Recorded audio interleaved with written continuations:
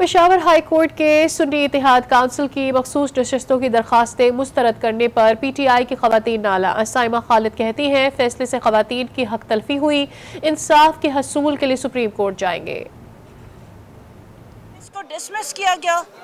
हम इस फैसले को मुस्तरद करते हैं और हम ये बताना चाहते हैं कि हम इन अपने इस राइट के लिए हर हर लेवल पे जाएँगे सुप्रीम कोर्ट में इन अपनी सीनियर लीडरशिप की मशावरत के साथ हम सीनियर लीडरशिप के साथ हम सुप्रीम कोर्ट ऑफ़ पाकिस्तान में इसके आ, अपील करेंगे इस फैसले के खिलाफ। जहाँ पे इनके मर्द या जनरल इलेक्शन पर एक बंदा बैठा होगा वहाँ पे उनके दो से तीन वहाँ पे मखसूस नशस्तें दी जाएँगी। ना यहाँ पे जमहूरियत है ना यहाँ पे आइन है ना यहाँ पे कानून।